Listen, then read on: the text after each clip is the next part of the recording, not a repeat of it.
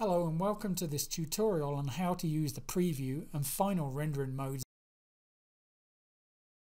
First I'm going to show you the preview mode which is the blue button on the toolbar. The preview is basically a draft rendering for you to decide if you need to adjust any of the settings in your scene.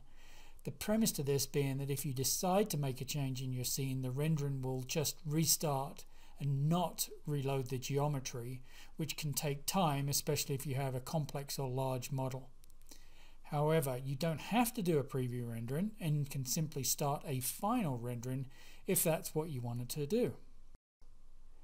We render the preview at a lower resolution than you may have originally set. You can see this in the bottom left of the window. This speeds up the rendering, helping you identify any adjustments you want to make in your SketchUp scene.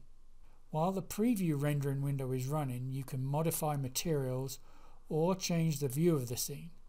If you make changes, the rendering will automatically restart. I'm going to change a material setting to show you.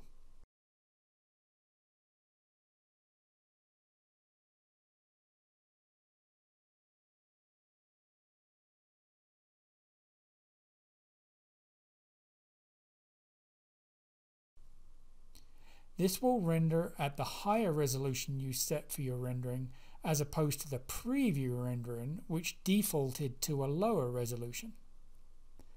Unlike preview mode, you cannot make changes to materials in your scene.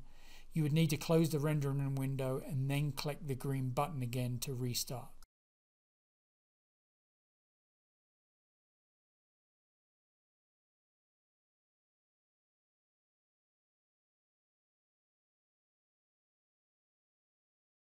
I'm now going to show you final rendering mode. If you're in a preview rendering and want to start a final rendering, all you need to do is click the green button.